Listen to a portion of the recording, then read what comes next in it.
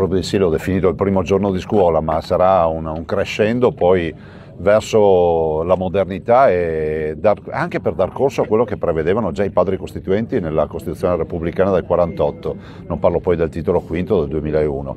Direi che è una scelta di modernità, di responsabilità e non è assolutamente l'affamare le regioni del sud, dividere l'Italia o altri discorsi che ho sentito che non c'entrano nulla con la realtà. Mi spiace vedere che ancora ci sia qualcuno che sostiene che questa sarà la fine un, del nostro paese. Non sarà così.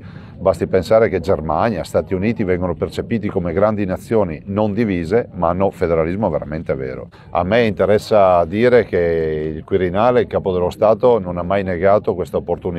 Ricordo che noi siamo andati a referendum, un referendum secondo qualcuno abusivo, illegale, grazie a una sentenza della Corte Costituzionale. Questo la dice lunga sulla legalità del nostro percorso.